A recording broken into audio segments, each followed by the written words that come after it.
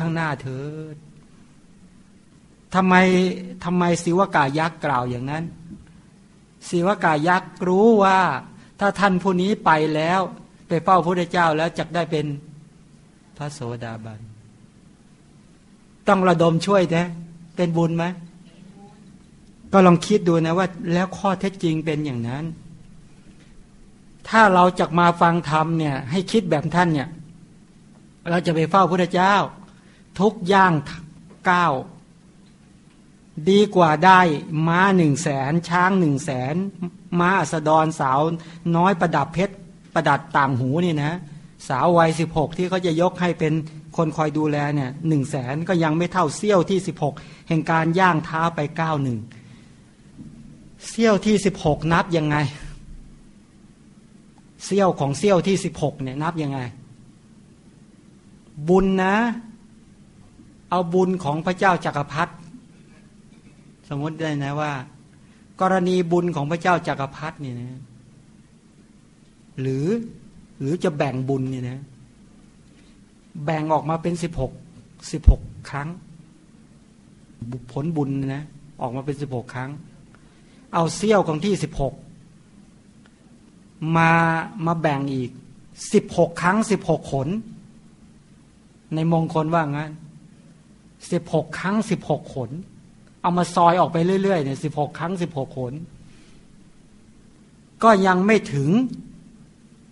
บุญกุศลอันนั้นก็ยังไม่เท่ากับการที่จะย่างเท้าไปแต่ละก้าวมีผลมากมีค่ามากกว่าอันนี้สงมีมากกว่ากันเยอะเลย ถ้าถามว่าถ้าอยู่กับถ้าไม่ไปเฝ้าพระเจ้านะไม่ไปเฝ้าพระเจ้า เราได้สถานะก็คือได้ช้างหนึ่งแสนม้าหนึ่งแสน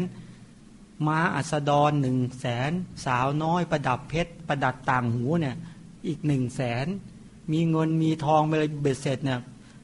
เป็นใหญ่เป็นโตอยู่หน้าที่นั้นเลย แต่กับการไปเฝ้าพระเจ้าแต่ละก้าวที่ก้าวไป แต่ละก้าวที่ก้าวไปนั้นเนี่ยมีค่ากว่านั้นอีกเยอะมากทำไมมีค่า การเป็นราชามหากษัตริย์เป็นจักรพรรดิก็ดี ปกครองแผ่นดิน มีทวีปใหญ่ทั้งสี่ทวีปน้อยสองพันเป็นบริวารก็ดี กับการเป็นพระเจ้าพระโสดาบันอันไหนบุญมากกว่ากันเนี่ยเห็นไหมเทียบกันไม่ได้เลย เพราะไปครั้งเนี้ยไปเพื่อฟังพระธรรม ถึงแม้ไม่ได้อย่างเราเนี่ย ถึงแม้เราก้าวเท้าไปเพื่อจะไปฟังธรรมนะถึงแม้ไม่ได้บรรลุวันนี้ แต่ไปปักตั้งอัธยาศัยที่จะเป็นปัจจัยการบรรลุในวัฏฏะข้างหน้าแล้ว มันดีกว่าการที่เราจะนั่งเฝ้าทรัพย์ เป็นราชามหากษัตริย์ เข้าใจไหมเนี่ย มันก็แค่จมอยู่ในวัฏฏะมันจะไปได้ดีได้ดีอะไร ทรัพย์เหล่านี้เดี๋ยวมันก็พังหายไปหมด แต่การไปตั้งอัธยาศัยเพื่อเป็นปัจจัยแก่การพ้นทุกข์เนี่ยเป็นบุญญาลาภอันประเสริฐแล้ว ก็คิดให้เป็นอย่างเงี้ย คิดอย่างอนาถาบินิกาเนี่ยเหมือนท่านก็บอกว่า อย่ากลับเลย อย่าถอยเลย ให้เดินไปข้างหน้าดีกว่า อย่าถอยอย่ากลับเลย ทันใดนั้นเองความมืดก็หายไปแสงสว่างก็ปรากฏแก่นาถาพินิกาเศรษฐีก็ไม่ได้กำลังใจไหมสมาธิพุทธคุณก็ฟุบเข้ามาอีก แสงสว่างก็เกิดทันทีเลยทีนี้อย่างเราไม่เอาแล้วขนหัวลุกงี้ยังไงเดินกลับดิฉุดไม่ไปยังไม่อย่างเราเนี่ยเดินกลับท่าเดียว ไม่ต้องกลางคืนแล้วใครใครจะไปกลางคืนเนี่ยนี่ท่านไปเลย ท่านเก่าในย่าเป็นสหายเก่า แต่ว่าไม่ทราบเป็นหรือเปล่าแม้ครั้งที่สองก็เป็นอย่างนี้อีกแหละทำท่าจะถอยอีกไหมเงี้ยก็มีเสียงแบบเนี้ยครั้งที่สามแสงสว่างหายไปอีกความกลัวความขนพองสยองก้าวก็เกิดขึ้นมาอีก ตรงนี้นะ ถ้าเราท่านทั้งหลายนี่นะเกิดขนพองสยองก้าวเกิดความกลัว เกิดความทุกข์ขึ้นมานั้นบุคคลที่เราควรจะคิดถึงคือใคร ให้คิดถึงพระเจ้าถ้าคิดถึงพระเจ้าแล้วความกลัวความขนพองสยองก้าวก็จะหายอันตรธานไปนะคิดให้เป็น ตรงนี้ได้มุมแล้วเนี่ยชีวิตของเราเนี่ยถ้าไปไปสบอุบัติเหตุ หรือไปตกระกรรมลำบาก หรือไปเกิดในภาวะขับขัน แผ่นดินไหว น้ำท่วมไฟไหม้รถชน คิดถึงใคร เออนายคิดเลย ให้ตั้งมั่นเลย ไม่ใช่ว่าไปคิดถึงคนอื่น นั่นแหละให้ตั้งหลักให้เป็น อันนี้จะเป็นสารณะเป็นที่พึ่งได้ ความกลัวความขนบองสยองก้าวมันจะหายไปงั้นคนที่ฝึกคิดเขาว่า แม่ชีข้างหน้านี้จะต้องไปประชิญกับพญามัจจุราชไหม แล้วเตรียมตัวไว้ยังพุทธคุณเนี่ยประมาทประมาทแท้เตรียมให้แข็งแรงกว่านั้นใช่ไหมวันวันหนึ่งคิดถึงพระเจ้าถึงชั่วโมงไหมถึงไม่ถึงอะเอาแค่ชั่วโมงก่อน ถึงไหมคิดแล้วรวมเบ็ดเสร็จเนี่ยคิดถึงพระเจ้าถึงชั่วโมงไหม ไม่ถึง น้อยไปไหมวันหนึ่งยี่สิบสี่ชั่วโมง ถ้าชาวพุทธวันหนึ่งคิดถึงพระเจ้าน้อยกว่าหกชั่วโมง ชาวพุทธคนนั้นมีปัญหาแน่นอน ใช่ไหมแสดงว่ามองเห็นอะไรแล้วพระเจ้าไม่เคยปรากฏในใจเลยเนี่ย มีปัญหาแล้วนะ ถ้าไปเผชิญหน้ากับจุฬาชแล้วท่านจะสู้เขาอย่างไร ถามตัวเอง เอาว่าจริงไหมมีปัญหาแน่ๆเพราะน้อยกว่าหกชั่วโมงเนี่ย ขนาดหกชั่วโมงนี่ยังยังห้าสิบห้าสิบถ้าใครคิดได้เกินหกชั่วโมงเนี่ยนะก็เริ่มจะได้หกสิบเจ็ดสิบก็ว่ากันไปเนี่ยนะ แต่ถ้าต่ำกว่าหกชั่วโมงเนี่ย อาการหน้าเป็นห่วงแล้วเนี่ย ต่ำกว่าหกชั่วโมงเนี่ย อยู่แค่สี่สิบเปอร์เซ็นสามสิบเปอร์เซ็นของชีวิตเนี่ยนะ ก็เรียบร้อยโอกาสแพ้สูงมาก ฝากให้คิดแล้วเอาไปทำเสีย นี่ต้องอันนี้เป็นเป็นหลักการชาวพุทธต้องคิดเป็นนะ บางคนเนี่ยก็คิดตกกระไดพลอยโจรก็ก็ร้องเรียกพระพุทธเจ้าอยู่ไหมนะเขาเขาจะร้องกันนะถ้าอย่างเช่น อุบาสิกาซึ่งเป็นภรรยาของพราหมณ์ที่บอกว่า จะหกล้มก็ดีตกใจก็ดีกันนะโมตสะพระควาโตอรหัตโตสัมมาสัมพุทธัสสะได้เลยเนี่ยขอนอบน้อมแด่พระผู้มีพระภาคเจ้าพระองค์นะอุทานยาวหน่อยดีไหมอุทานนะนอบน้อมพระเจ้าอยู่ที่ทุกแห่งแปลว่าใจก็ผูกพันกับพระเจ้า ถ้าอย่างนี้ก็ไม่กลัวหรอก เจริญยากไหมพุทธคุณ ไม่ได้ยากอะไรเลย เพียงคิดถึงพระเจ้าบ่อยๆเท่านั้นเองใช่ไหม นี่เราไม่คิดถึงเนี่ย เอางี้ ดอกไม้ ถวายดอกไม้ เราเห็นความงามของดอกไม้ไหมถามว่าดอกไม้ที่ถวายเนี่ยเขาบูชาอะไร บูชาความงามของพุทธคุณ จากการถวายดอกไม้เนี่ยเป็นพุทธบูชานี้ ใช่ไหม ขอให้ข้าพเจ้าได้ความงามของพุทธคุณในที่ทุกที่ในที่ทุกสถานในการทุกเมื่อ คือพระพุทธเจ้าเนี่ย สัตว์โลกมีประมาณ ถ้าโลกธาตุมีจำนวนเท่าไหร่ พุทธญาณก็มีเท่านั้นใช่ไหมพุทธญาณมีเท่าไหร่โลกธาตุก็มีเท่านั้น โลกธาตุกับพุทธญาณนั้นมีความสมดุลกันและกันก้ากึ่งกันและกันนะไม่ล่วงไม่ล่วงเกินกันและกัน แปลว่าจำนวนสัตว์โลกมีประมาณเท่าไรพุทธญาณก็ต้องมีเท่านั้นด้วย เข้าใจคำนี้ไหมสังขารโลก โอกาสโลก สัตวโลก ในหาประมาณไม่ได้ ฉะนั้นดอกไม้ในจักรวาลทั้งหลาย ก็มีหมด ดอกไม้เนี่ย เราเป็นดอกตัวแทนของดอกไม้ในจักรวาลทั้งสิ้นได้ไหม พื่อจะประดับบูชาพุทธคุณพุทธญาณของพระเจ้า ซึ่งมีมากมายขนาดนั้นเน่ยเห็นดอกไม้นะที่ไหนก็เห็นความงดงามของพุทธญาณพุทธคุณของพระผู้มีพระภาคเจ้าทำไมพระบรมศาสดาจึงต้องประดับสรีระคุณมหามหาปุริสระขนาด 32 ประการและอนุพยัญชนะ 80 ประดับไว้อย่างสวยงามด้วยหน้าของกุศลกรรมบทเป็นต้น อย่างละเอียดอย่างประณีต ที่กระทำมาตั้งเสียสงไขตั้งยี่สิบประสงไขยิ่งด้วยแสนมหากับทำไมเพื่อต้องการประดับพุทธสรีระคุณเนี่ยให้มีความงามมีพระเนตรที่งามมาก มีพระชง งามมีพระนาสิก มีพระการมีพระโอษมีพระเมารีใช่ไหมมีพระขนง มีพระปาหาลำพระสองดงามอย่างยิ่ง ทุกอนูของร่างกายของพระเจ้านั้นประดับมาเพื่ออะไรอะ เพื่อให้สัตว์ทั้งหลายได้เห็นแล้วเกิด ศรัทธา เพราะสัตว์ทั้งหลายนั้นติดข้องในรูปมากกว่าอย่างอื่น เมื่อเห็นพระรูปของพระเจ้าแล้วจะได้ศรัทธาเชื่อมั่น และจะได้น้อมไปเพื่อจะฟังพระธรรมแล้วจะได้บรรลุ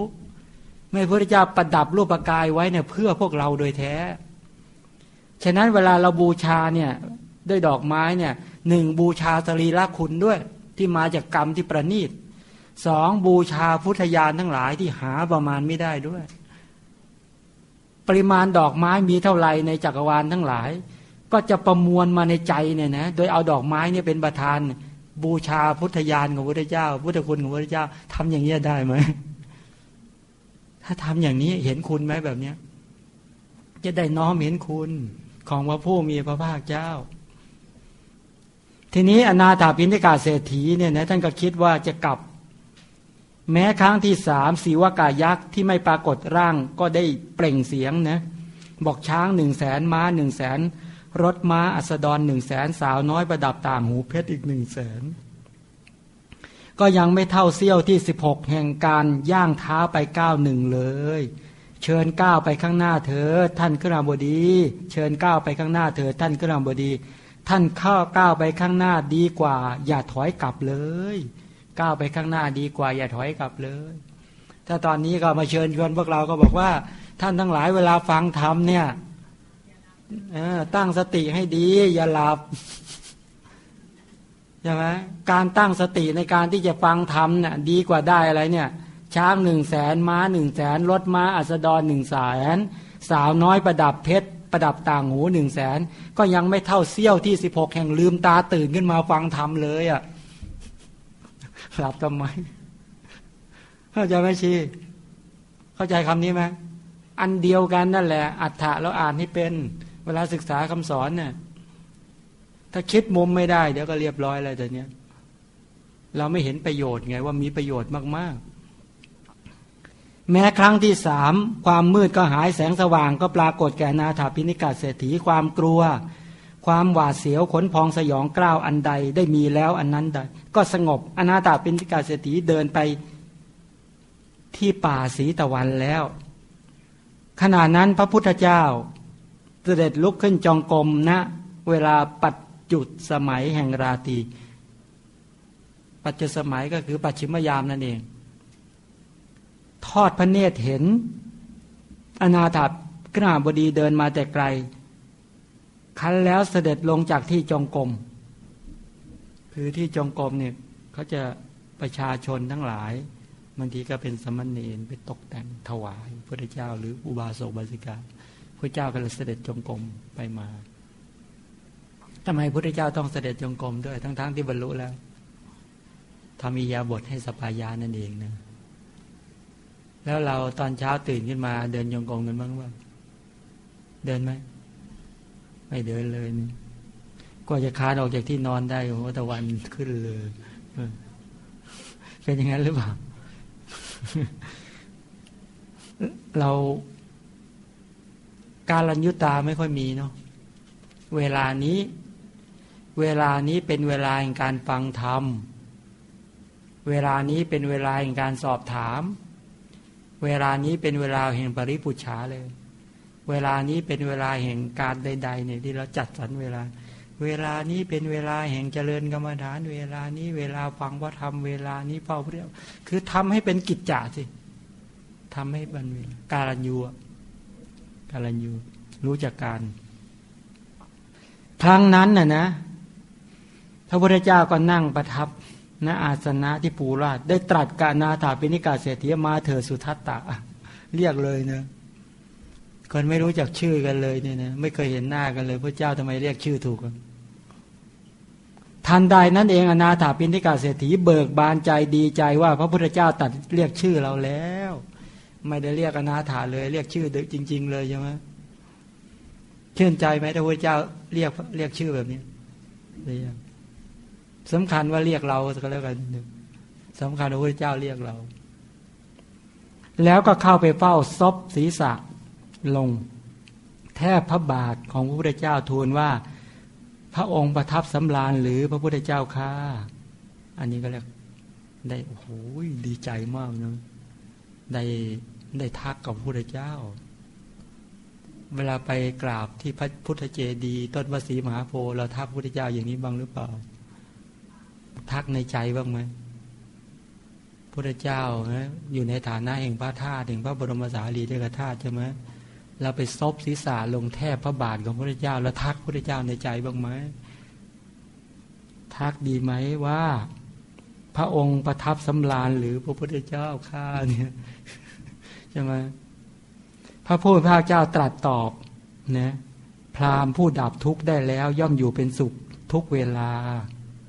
พระเจ้าก็จะตอบเราอย่างนี้แหละคือว่าพระบรมศาสดานั้นนะดับทุกข์ได้แล้ว พระศาสดาดับชาติทุกข์ได้หรือยัง ดับได้หรือยัง ชาติทุกข์ชราทุกข์พยาธิทุกข์มรณะทุกข์พระพุทธเจ้าดับความโศกความล่ำไรลำพันธ์ไม่สบายกายไม่สบายใจ ความคับแค้นใจได้แล้วพระเจ้าไม่มีทุกข์เพราะการแสวงหา ไม่มีทุกข์เพราะการรักษา จึงไม่มีทุกข์เพราะการแปลไปแล้ว ฉะนั้นเราไปถามพระเจ้าพระเจ้าก็จะเทศบอกเราเดี๋ยวนั้นแหละ ว่าพรามผู้ดับทุกข์ได้แล้ว ย่อมอยู่เป็นสุขทุกเวลา ผู้ใดไม่ติดอยู่ในกาม ไม่ติดอยู่ในวัตถุกรรมไม่ติดด้วยอำนาจของกิเลสกรรมอะไรคือกรรมรูปเสียงกลิ่นรสสัมผัสเนี่ยเป็นกาม ตาหูจมูกลิ้นกายใจเนี่ยเป็นกาม ขันห้าเนี่ยเป็นกาม ขันสี่ขันหนึ่งเนี่ยเป็นกาม กามมาพบรูปประพบและรูปประพบเนี่ยเป็นวัตถุกรรม กิเลสคือราคะโทสะโมหะทั้งหลายที่ไปยึดโยงไปยินดีไปติดข้องในสิ่งเหล่านี้นั้นเป็นกิเลสกรรมบุคคลที่ไม่ติดอยู่ในกามมีใจเย็น ไม่มีอุปธิ ไม่มีกิเลสูปธิ อุปธิคือกิเลส ราคาโทสะโมหามานะทิฏฐิวิจิกิจฉาหิริการโนตปะอุตจะไม่มีแล้ว ไม่มีอภิสังขารูปธิ เจตนาที่เป็นอกุศลกรรมที่เป็นอาปุญญาพิสังขารไม่มีแล้วปุญญาพิสังขารก็ไม่มี เจตนาที่เป็นไปกับบุญกุศล ให้ทานรักษาศีล เจตนาที่เป็นไปกับรูปกุศล ก็ไม่มี แม้แต่เจตนาที่เป็นอเนนชาพิสังขารที่เป็นไปกับรูปกุศล ก็ไม่มีเจตนาที่จะเป็นปัจจัยให้ไปเกิดในการมาพบรูปประพบและอรูปประพบเนี่ยตถาคตไม่มีแล้ว ไม่มีอภิสังขารูปทิแล้ว ไม่มีขันธูปทิคือรูปขันเวทนาขันสัญญาขันสังขารขันการที่จะได้ไปเกิดเป็นขันห้าขันสี่ขันหนึ่งในการมาพบรูปประพบและรูปประพบไม่มีแล้ว ไม่มีกามูปธิอุปธิคือกาม ฉะนั้นบุคคลที่ดับอุปธิไม่มีอุปธิแล้วเนี่ยตัดความเกี่ยวข้องทุกอย่างได้แล้ว บรรเทาความกังวลกวายใจได้เนี่ยถึงความสงบแห่งจิตเป็นผู้ระงับแล้วย่อมอยู่เป็นสุขไหม อยู่เป็นสุข ก็ทำให้ได้อย่างเราสิเนี่ยบอกอย่างนั้นเนี่ยเธอก็ทำให้ได้อย่างพระพุทธเจ้าสินั้นเวลาไปกราบทูลพระเจ้า ว่าพระบรมศาสดาทรง พระสำราญไหมเนี่ยพระเจ้าก็จะบอกกับเราคำเนี้ยว่าพราหมณ์ที่ดับทุกข์ได้แล้วเนี่ยนะพราหมณ์ที่ดับทุกข์ได้แล้วเนี่ยย่อมอยู่เป็นสุขทุกเวลานะ ผู้ใดไม่ติดในกาม ตอนนี้เราติดอยู่ไหมโอ้ยติดในบ้านในรถในทรัพย์ในอะไรเยอะแยะ ติดข้องในตาหูจมูกลิ้นกายใจในบุตรในภรรยาในสามีโอ้โหเยอะแยะ ในยศถาบรรดาสัตว์ในการนอนการกินอะไรก็ไม่รู้ติดกันในนุงนางไปหมดใช่ไหมแล้วอย่างนี้เราจะเป็นผู้มีใจเย็นได้ไหมเนี่ย ไม่ได้แล้วก็วนก็วายกันอยู่นั่นแหละก็เสือกระสนดิ้นรน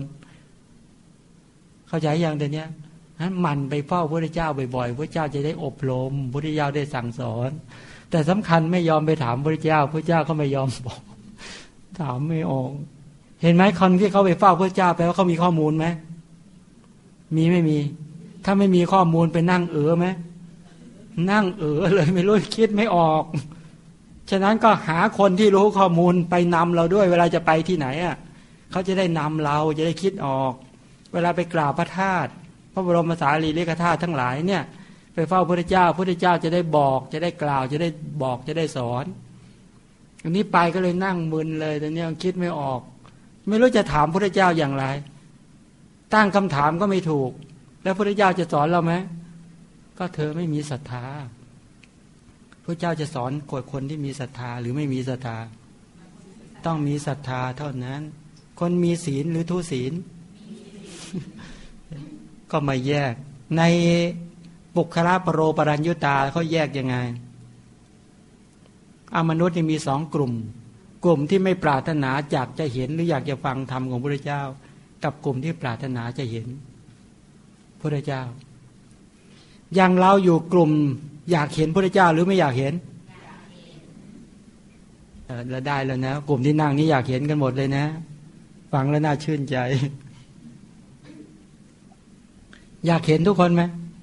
อยากเห็นพระเจ้าใช่ไหมเอาเมื่ออยากเห็นแล้วเนี่ยนะก็มาแยกอีกสองอยากเห็นแล้วอยากฟังธรรมของพระเจ้า หรือไม่อยากฟังธรรมอยากฟังแล้วไอ้กลุ่มที่ไม่อยากฟังก็ถูกตำหนิไปแล้วนะกลุ่มที่อยากอยากฟังก็ปรารถนาจะฟังก็ถูกสรรเสริญไปในกลุ่มที่อยากจะฟัง ก็มาแยกว่าตั้งใจฟังกับไม่ตั้งใจฟัง อยู่กลุ่มไหน เดี๋ยวก็แยกแล้วต่นี้เริ่มแยกแล้วชี้อยู่กลมไหน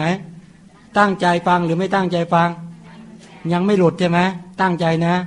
ไม่มีหลับไม่มีเผลอเลยนะเอาตั้งใจเพราะไอ้กลุ่มกลุ่มนั้นก็ถูกตำหนิไปกลุ่มที่ไม่ถูกตั้งไม่ตั้งใจฟังอะไม่มีนะที่นั่งอยู่นี่นะตั้งใจฟังหมดเลยนะถ้าคอยดูใครจะไปถึงจุดหมายปลายทางหรือไม่ถึง กลุ่มที่ตั้งใจฟังเนี่ยนะ กลุ่มที่จำได้กับกลุ่มที่จำไม่ได้อยู่กลุ่มไหน เดี๋ยวย้อนถามนะว่าจำได้หรือไม่ได้อ้าวแล้วอยู่กลุ่มไหนทรงจำหรือไม่ทรงจำเอาแล้วชักหงุดหงิดงองอแล้วเดี๋ยวนี้เสียงเริ่มหายไปแล้วใช่ไหมกลุ่มที่จำไม่ได้ ก็จะถูกตำหนิไปว่าฟังยังไงถึงจำไม่ได้ฟังยังไง แสดงว่ามันที่จริงมันเสียมาตั้งแต่อันแรกนู่นแหละบางทีอะฝืนมาแล้วใช่ไหมอันนี้ฝืนมาเนี่ยเข้าไปไม่ถึงดวงดาวหรอก นี่กลุ่มไม่ไม่ฟังไม่จำไม่ได้กับกลุ่มที่จำได้ นี่กลุ่มที่จำได้แล้วก็มาแยกนะมาแยกกับกลุ่มที่ทรงจำมาแยกเป็นสองส่วน กลุ่มที่พิจารณาและไม่ได้พิจารณาจำได้แล้วเอามาพิจารณาแล้วไม่พิจารณาแล้วอยู่กลุ่มไหน จริงเลยเริ่มเหลือน้อยแล้วนะแต่เนี้ยนะเออฟังแล้วมาพิจารณาใกล้กลุ่มหนึ่งฟังแล้วไม่พิจารณาฟังก็แค่จำอย่างเดียวพอแล้ว แค่นี้ก็หนักพอแล้ว ยังจะให้มาตรึกมาตรองมาไข้ควรมาวิจัย โอ้ไม่เอาแล้วหนักเหลือเกินทีนี้กลุ่มที่พิจารณาก็ไม่แยกอีก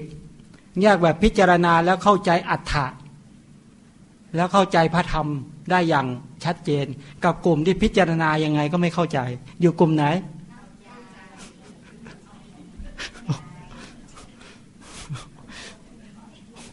เรียบร้อยแล้วแต่นี้ อาพอแยกไปอีกแต่เนี้ย เมื่อฟังแล้วพิจารณาแล้วเข้าใจใช่ไหมมาแยกบอกว่า ปฏิบัติตามและไม่ปฏิบัติตาม ปฏิบัติธรรมตามสมควรแก่โลกุตละธรรม ปฏิบัติธรรมพอเป็นเหตุแก่การจักบรรลุได้กับไม่ยอมปฏิบัติ อยู่กลุ่มไหน เห็นหรือยัง ถ้าเรารู้อย่างนี้เราจะได้รู้เราอยู่กลุ่มไหน เราอยู่กลุ่มไหนกันแน่ จะได้รู้จักบุคคล รู้จักตัวตนที่แท้จริงของตัวเองทันทีว่าอ๋อ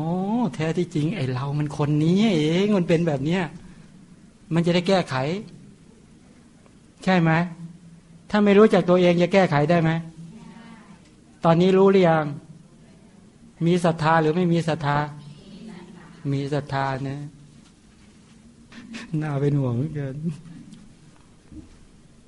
แต่ไม่เป็นไรพออย่างนี้เราก็เริ่มจะเพิ่มได้ใช่ไหมอย่างเนี้ย ก็ให้รู้จักอย่างนี้ ถ้าไม่รู้จักเราจะไม่ยอมพัฒนาตัวเองแล้ว แม้ครั้งที่สามนะ ตอนนั้นก็คือพระพุทธเจ้าหลังจากถามเออหลังจากให้โอวาจะพรามผู้ดับทุกข์ได้แล้วย่อมอยู่เป็นสุขแม้ทุกเวลานะ ผู้ใดไม่ติดในกามคือวัตถุกามกิเลสกามมีใจเย็นไม่มีอุปธิ มีขันธูปธิเป็นต้นตัดความเกี่ยวข้องทุกอย่างได้แล้ว บรรเทาความกังวนกวายใจไอ้กังวนกวายใจเนี่ยเป็นชื่อของราคะโทสะโมหามานะทิฏฐิวิจิกิจฉาหิริกาโนตปานี่นะเป็นความเร่าร้อนมาก เป็นความกังวนกวายใจมากไฟอะไฟคือราคะไฟคือโทสะไฟคือโมหะนะต่อไปไฟสิบเอ็ดกองก็คือชาติชรามรณะโสกาปริเทวทุกขโทมนะสาวปายาตอันนี้คือไฟนะ แล้วไฟเนี่ยมันเผาเราอยู่ตลอดเวลานะทางทวารตาหูจมูกลิ้นกายใจไปดูในอาทิตตปริยยสูตรดิดูก่อนภิกษุทั้งหลายสิ่งทั้งปวงเป็นของร้อนเนี่ยดูก่อนภิกษุทั้งหลายก็อะไรเล่าคือสิ่งทั้งปวงเป็นของร้อนน่ะ ตาเป็นของร้อนไหมโยมหูเป็นของร้อนไหมทำไมมาตาสวยหูสวยกันอย่างตาเป็นของร้อน สีอะสีก็เป็นของร้อนจักขุญญาณเป็นของร้อนไหม จักขูสัมผัส เป็นของร้อนไหมสุขเวทนา ทุกเวทนาแร่ทุกทุกมาสุขเวทนาที่เกิดขึ้น เพราะจักขูสัมผัสเป็นปัจจัยเป็นของร้อนไหมร้อนเพราะอะไร ร้อนเพราะไฟคือราคะ ไฟคือโทสะไฟคือโมหะ มันเผาอยู่ตลอดเวลาไหมเห็นแต่ละครั้งนี่ราคะโทสะโมหะเกิดไหมสามตัวเกิด สังเกตดูที่ไม่กำหนัดก็ขัดเคือง ไม่ขัดเคืองก็ลุ่มหลง ไฟเผาตลอดเวลาเนี่ย กรรมเกิดขึ้นอย่างตอนนี้เป็นอกุศลกรรมแล้วพระเจ้าบอกว่าใช้เหล็กแหลมแทงตายังมีความสุขมากกว่านี้กว่าการทำให้ราคะโทสะโมหะเกิด ราคะโทสะโมหะเกิดจะดีอะไรถ้าถ้าอากุศลกรรมส่งผลในขณะนั้นใจขาดในขณะนั้นน่ะก็ได้อบายทุกติวิบัตินรก แต่ถ้าเหล็กแหลมแทงตามันปวดเฉพาะปัจจุบันภพมันไม่ไปปวดในอบายภพนะ เพราะเราเกิดความกำหนัดความขัดเคืองความรุ่มหลง ในขณะที่มองเห็นสีเนี่ยลมหายใจขาดในขณะนั้นมีทุกขตินิมิตปรากฏก็ลงอบายทุกขติวินิบาตนรก แล้วมันจะดีอะไรใช่ไหมมันจะดีอะไร เหล็กแหลมแทงตามันปวดแค่ชีวิตเดียว แต่การไปตกนรกนั้นเป็นกลับเป็นพุทธันดรเนี่ยมันเจ็บปวดนะ มันเจ็บปวดในได้ยินเสียงแล้วกำหนัดขัดเคืองรุ่มหลงก็เหมือนกัน ใช้เหล็กแทงหูทะลุยังมีความสุขมากกว่า มันก็เจ็บแค่ชาติเดียวใช่ไหมเจ็บปวดไหมอย่างเงี้ย เวลาสอนแบบนี้เจ็บปวดไหมก็ไปดูในอาทิตย์ปริยายาทีในสังยุตในพระเจ้าตรัสอย่างนี้จริงเราเห็นเห็นสิ่งที่ยินดีเพลิดเพลินก็กำหนัดพอใจในพอใจหน่อยก็ขัดเคือง แล้วก็ลุ่มหลง อาถ้าทุกขตินิมิตปรากฏ ถ้าลมหายใจขาดตอนนั้น นิมิตไม่ดีจะปรากฏไหมปรากฏลงอบายไหมเนี่ย นานไหมโอกาสจะกลับมาเป็นมนุษย์อีกยากไหมเนี่ยเมื่อเช้าก็ดูไอในในนิริยะในนิริยกถากถาพูดในเรื่องของนิริยภูมิ โอ้โห ดูแล้ว น่าทรมานจริง แล้วเราปิดอบายภูมิกันไม่ได้ทำไงเนี่ย แล้วสภาพอินทรีย์ก็อ่อนแอกันขนาดนี้เราเงยน่ากรุณาตัวเองไหมเนี่ย กลัวไหม เดินกุศลให้เต็มที่กันแล้วกัน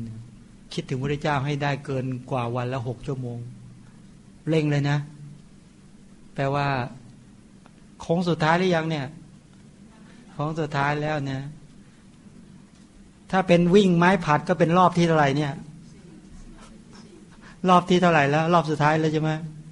รอบสุดท้ายแล้ว